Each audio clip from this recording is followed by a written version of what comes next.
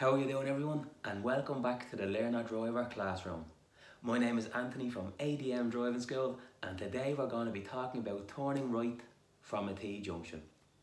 Alright, um, I tend to find this one is a little bit easier than say turning right from a major to a minor road.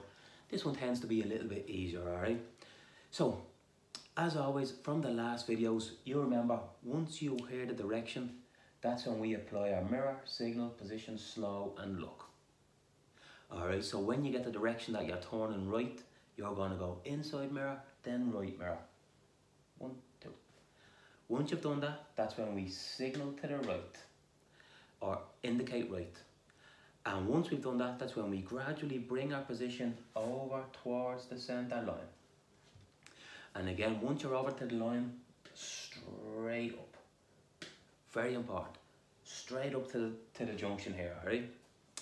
Um, and then once you're in position, that's when we, you can see the brake lights, slow with the brake first. Once you're going slow enough, that's when we clutch in, into second, off the clutch, and L for look. Now, although we're coming up L is for look, we'd be still on the brake here. And remember from my last video where we turned left at the T-junction, we're on the brake, we clutch in and we roll it into fourth gear. Alright, if you watch that video on turning left from a T-junction, I explained that in a bit more detail. So we're on the brake, we clutch in, roll it into fourth, and now L for look. So when we come to the T-junction, these cars have right of way, alright? So we need to look right and left, right and left, alright? If there's a car coming from either way, we're going to just stop at the line. Very important. Trying to keep on rolling and stopping out here. You don't want to be impeding these cars or cyclists. Very important. So look right and left. We see a car. It's really easy just to press the brake and stop just at the line. Alright. So then you're looking right and left. Once there's no cars coming, it's important that we don't steer from here. You don't want to do that. You're still kind of cutting the corner in that sense, alright? So what you kind of do is you, you drive up towards the centre line. That's when you can, just before you steer, you can have your quick glance to the left, a quick glance, but then once you're about to steer, I would have explained this in the last videos, just looking where you're going, look to the right and then steer.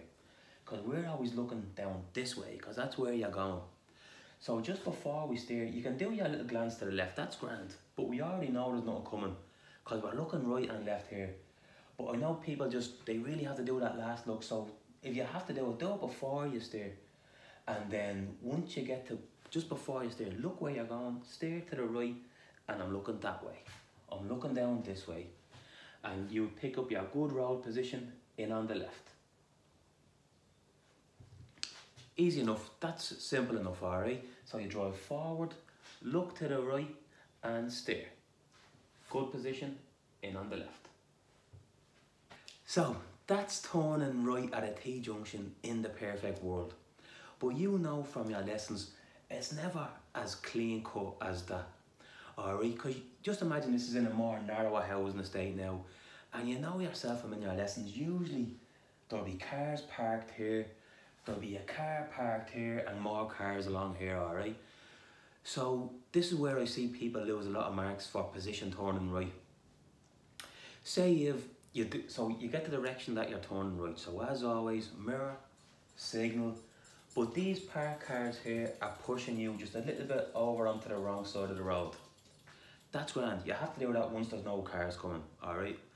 Making sure you keep your doors width, as you would have learned from your theory test. So you're in position, you slow, you're into second, you're off the clutch, you're staying on the brake. And then very importantly, unless it'd be very unlikely there's a car parked all the way up to the top. Usually there's a gap here. So say when the cars, there's no more cars parked, it's very important, you don't want to be steering from the wrong side of the road. If you can get back in onto your side of the road, that's the ideal place to be. Because think about it, if you're up here and you stop here and a car wants to turn right here, you're in the way. So when the when there's no more cars, very important, get in onto your side of the road. And then we clutch in, roll it into first, look right and left.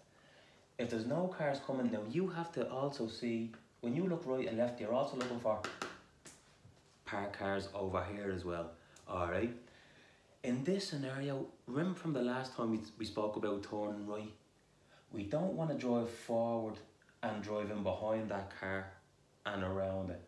So we have to look right and left. If there's no cars coming we still drive forward just not as far this time. We look to the right and steer and trying to get straight past this car keeping your doors with if you can. If you see another car down here we don't need to weave in and weave back out. We just stay straight down in a straight line alright? So that's it. That's turning right from a T-junction it's handy enough this one. Um, people do tend to find it easy but just very important making sure we always steer from our side of the road. Alright? Yeah so that's it. Turning right from a T-junction if you have any questions on that or anything put it put them in, in the comments down below. Um, I will go through them and I will try my best to answer every single one of them.